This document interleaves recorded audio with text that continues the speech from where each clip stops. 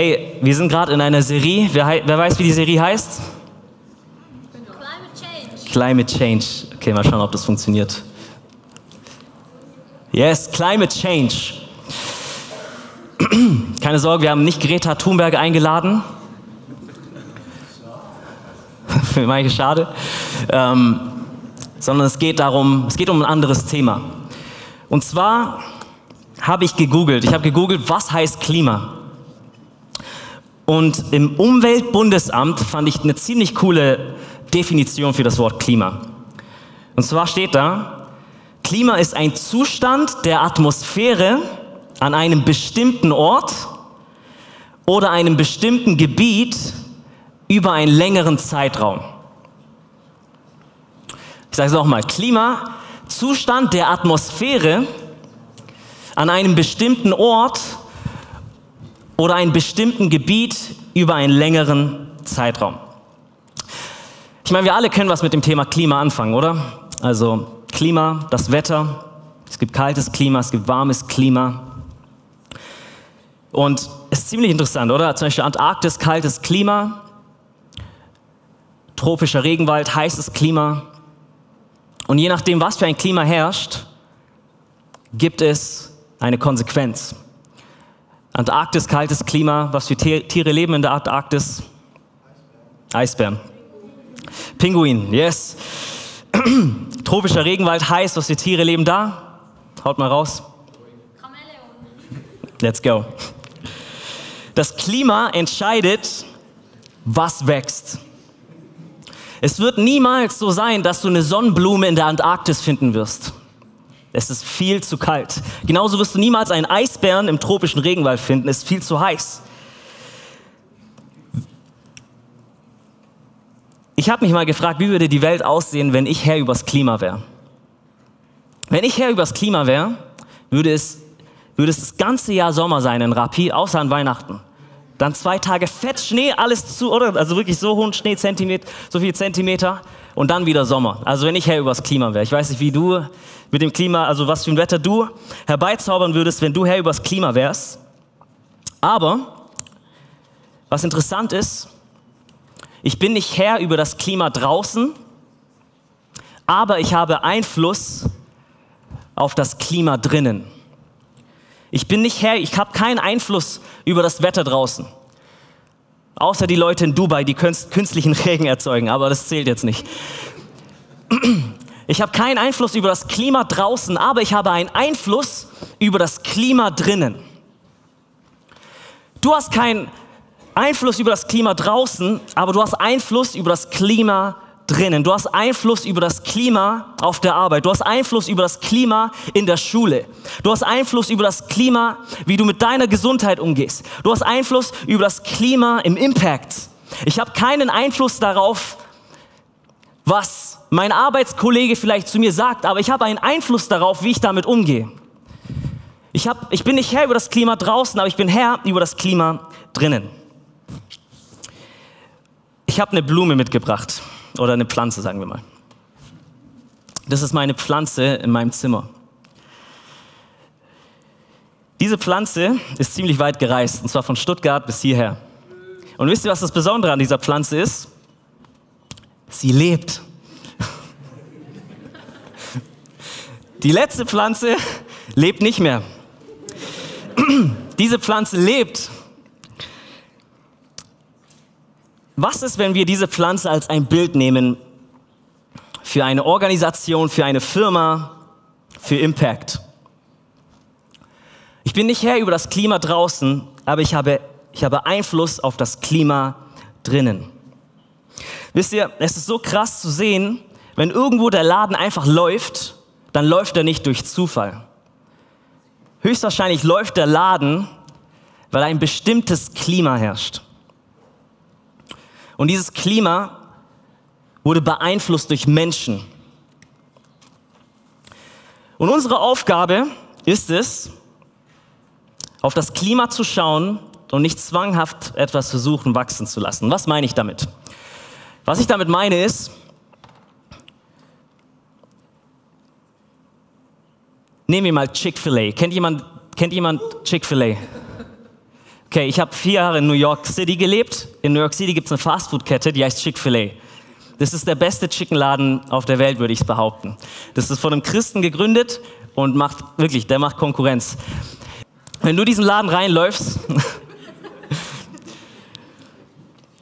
hey, die, wie die Leute dich bedienen, wirklich der Respekt, die Wertschätzung, wie alles läuft in den Laden, die Sauberkeit.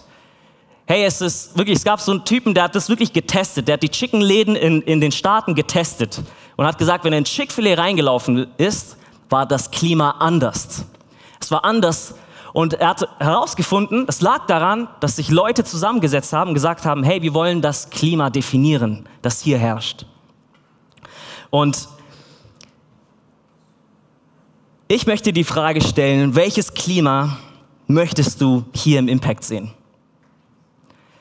Welches Klima herrscht hier überhaupt? Hast du Einfluss auf dieses Klima, was hier ist? Oder schaust du einfach nur zu? Bist du mittendrin und Teil davon? Welches Klima herrscht hier? Und es ist so cool, weil ich finde, es läuft hier, also es gibt so viele Dinge, wo ich mir denke, krass, was es hier gibt. Und gleichzeitig glaube ich, dass Gott echt stetig uns zum Wachsen bringen will. Und damit meine ich nicht mehr Leute, sondern in anderen Bereichen auch. Und ich bin auf einen Vers gestoßen, und zwar im 1. Korinther 3,6. Und ich weiß, einige, einige sind so richtig happy, weil es einfach ein Satz ist. 1. Korinther 3,6. Ich habe gepflanzt, Apollos hat begossen, aber Gott hat das Gedeihen gegeben. Ich habe gepflanzt, Apollos hat begossen, aber Gott hat das Gedeihen gegeben. Okay, also äh, der Korintherbrief ist ein Brief in der Bibel, im Neuen Testament, für diejenigen, die es nicht wissen. Und Paulus ist der Autor dieses Briefes. Er schreibt, ich habe gepflanzt, Apollos hat begossen, aber Gott hat das Gedeihen gegeben. In der Church in Korinth, Korinth ist eine Stadt, deswegen Korinther. Die Leute in der Stadt Korinth, in der Church hatten einfach verschiedene Unruhen, die hatten Streitigkeiten, sie haben sich wirklich über Themen gestritten, wer, wer zu Apollos gehört, wer zu Apollos gehört, weil Apollos ist auch ein Apostel gewesen, der eine Gemeinde mitgegründet hat wie Paulus. Und die Leute haben sich dann irgendwie mehr zu Apollos hingezogen gefühlt oder, haben, oder manche haben gedacht, boah, ey, er errettet. Manche dachten, nein, ich gehöre zu Apollos, weil ich durch ihn das Evangelium gehört habe. Und Paulus kriegt das mit und sagt einfach, hey Leute, ich habe gepflanzt, Apollos hat begossen, aber Gott hat das Gedeihen gegeben. Was ich ziemlich interessant finde an diesem Vers ist, ja, es ist wichtig, wer pflanzt, ja, es ist wichtig, wer begießt, aber Gott schenkt das Gedeihen. Okay, bevor die Zeit wegrennt.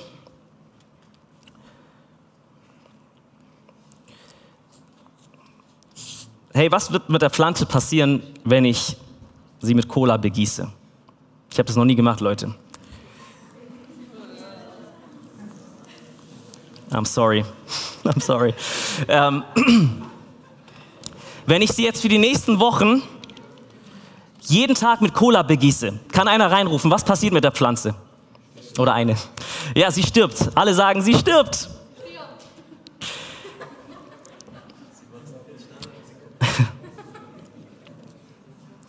Hey, wenn ich, wenn ich jeden Tag die Pflanze mit Cola begieße, wird sie irgendwann sterben.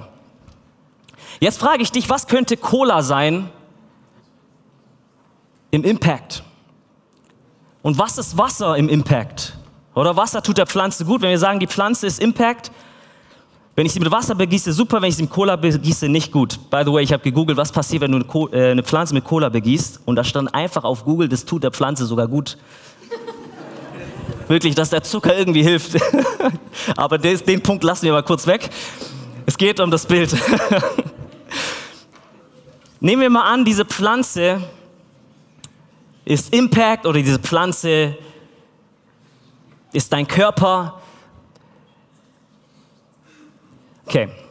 Nehmen wir mal an, ich gebe der Pflanze Wasser. Das tut der Pflanze gut.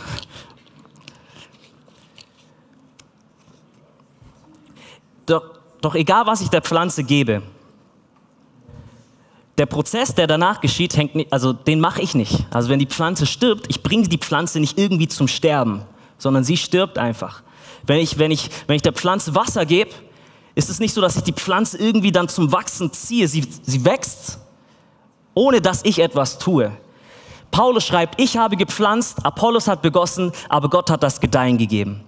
Ich glaube, Gott ist in unserer Mitte. Ich glaube, Jesus ist in unserer Mitte und ich glaube, er möchte etwas Neues tun. Und ich glaube, er möchte mit dir und mir zusammen partnern. Oder Gott könnte selber pflanzen, Gott könnte selber begießen, aber Gott schenkt das Gedeihen. Und Gott möchte, dass du pflanzt, dass ich pflanze, dass du begießt, dass ich begieße und Gott wird dann das Gedeihen schenken. Und ich finde es so cool, weil im Vers 9 liest du, dass, wo, dass Paulus schreibt, wir sind Gottes Mitarbeiter. Weißt du, dass Gott mit dir partnern will, dass Gott mit dir zusammenarbeiten will, diesen Ort hier zum Blühen zu bringen? Weißt du, dass Gott dich gebrauchen möchte? Was würde passieren, wenn ich die Pflanze habe in meinem Zimmer und ich einmal die Woche um 20.15 Uhr die Pflanze anschaue und einfach zuschaue und dann wieder in mein anderes Zimmer gehe. Da wird nicht viel passieren, oder? Aber wenn ich wirklich engagiert bin, wenn ich, wenn ich, wenn ich mich wirklich um die Pflanze kümmere, dann habe ich einen Beitrag geleistet. Und ich finde es so cool, dass Gott mich als imperfekten Menschen, gebrochenen Menschen gebrauchen möchte, seine wunderschöne Kirche zu bauen. Und mein Herz hinter der Message ist, Climate Change. Ich meine, wenn wir schon eine Serie haben über Climate Change, über Kultur Change, dann ist es doch, dann liegt es doch auf der Hand, mal was anderes zu probieren. Dann liegt es doch auf der Hand, mal zu schauen, was, was noch möglich ist. Und deswegen haben wir heute einen interaktiven Teil eingebaut. Und das ist der Teil, wo du jetzt gefragt bist. Und zwar jeder kommt auf die Bühne. Nein, Spaß, Spaß. Nein. Es gibt, es gibt drei Stationen. Und ich bin so gespannt, was passiert, wirklich. Ich bin so gespannt zu, zu sehen, was am Ende dabei rauskommt, weil du, dein, du heute deinen Beitrag leisten darfst. Und zwar gibt es drei Stationen. Eine Station von meiner Sicht aus, hinten links, hinten rechts und dann wird es eine Station vor der Bühne geben. Und es wird drei Fragen geben. Die eine Frage lautet, was soll hier wachsen? Was möchtest du, man, man, könnte diese, man könnte die Serie wirklich auf, auf so, viel, so viele verschiedene Ebenen nehmen. Heute ist der Fokus im Impact. Was möchtest du hier im Impact wachsen sehen? Erste Frage. Zweite Frage. Welche Klimafaktoren bilden einen Raum, in dem etwas wachsen kann? Oder welche Klimafaktoren hindern Wachstum? Zum Beispiel Gossip, oder? Wer denkt, Lästern ist etwas Gutes? Well done, du hast nicht deine Hand gehoben.